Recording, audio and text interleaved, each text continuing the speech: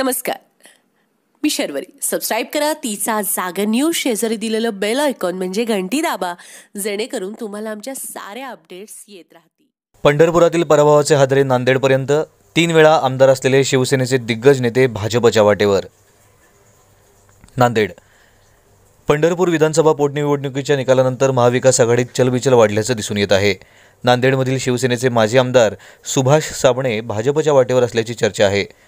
नांदेडमधील देगलूरच्या पोटनिवडणुकीचं ticket न दिल्यास भाजपचा झेंडा हाती धरण्याचा अप्रत्यक्ष इशारा साबणेने दिला आहे. नांदेडमधील देगलूर मतदारसंघातील काँग्रेस आमदार रावसाहेब अंतापूरकर यांचं गेल्या महिन्यात कोरोनामुळे निधन झालं. त्यामुळे रिक्त झालेल्या जागेसाठी होणाऱ्या पोटनिवडणुकीचे वेध अनेकांना लागले आहेत. काँग्रेसचे दिग्गज नेते आणि सार्वजनिक बांधकाम मंत्री अशोक चव्हाण यांनी स्वर्गीय अंतापूरकर यांच्या मुलाला पोटनिवडणुकीसाठी तयारी करण्यास सांगितलं आहे. दुसरीकडे माजी आमदार सुभाष साबणे यांनी प्रसंगी उमेदवारीसाठी भाजपमध्ये जायची तयारी ठेवली आहे. देगलूरमध्ये पंढरपूरची नि- पुनरावृत्ती टाळायची असेल तर आपल्या शि आपल्याला शिवसेनेनं उमेदवारी द्यावी अशी मागणी साबणे यांनी केली आहे. सुभाष साबणे हे शिवसेनेचे जुन्या पिढीतील नेते आहेत. ते तीन वेळा विधानसभेवर निवडून गेले आहेत. एकोणीसशे नव्याण्णव ते दोन हजार नऊ या काळात ते मुखेड विधानसभा मतदारसंघाचे आमदार होते. तर दोन हजार चारमध्ये ते देगलूरमधून विधानसभेवर निवडून गेले.